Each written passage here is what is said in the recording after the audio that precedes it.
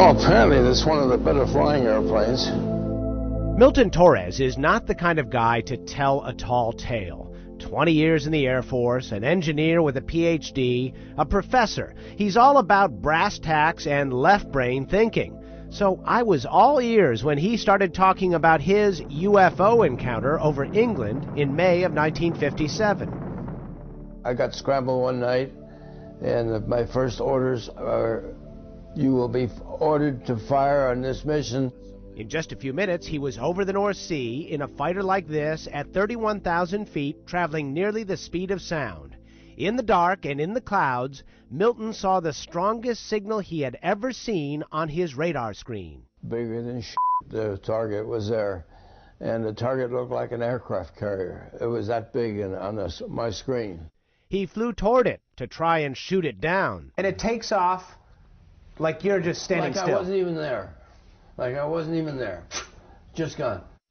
Milton has no earthly explanation for what he saw.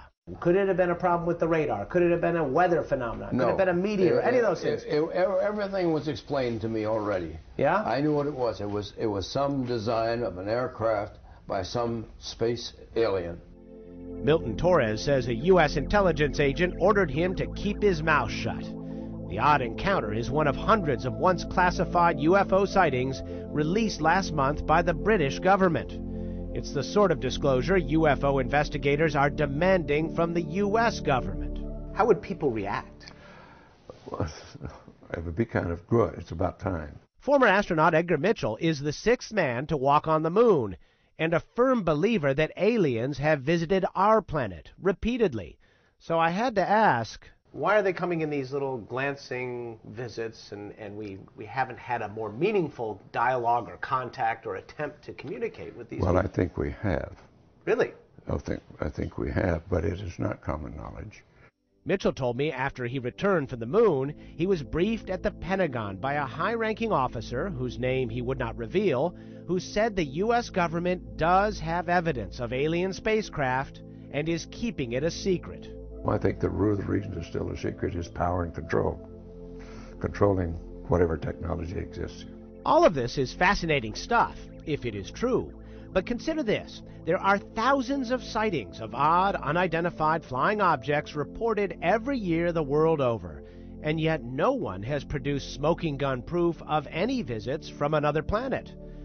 So, isn't it more likely they are some sort of natural phenomenon? Or maybe secret military aircraft? Or just plain old hoaxes? Maybe, but consider this one. March of 1997, a huge V shaped craft appears to fly over Phoenix. Among the witnesses, then governor and seasoned pilot Fife Symington. And I suspect that uh, unless uh, uh, the Defense Department proves us otherwise, that it was probably uh, some form of an alien spacecraft. Or consider this one. Before he became president, even Jimmy Carter saw something strange in the sky over Plains, Georgia. I and about 25 others saw something in the air that changed colors and was round and came and left. Carter doubts what he saw was an alien craft, but most Americans need no convincing.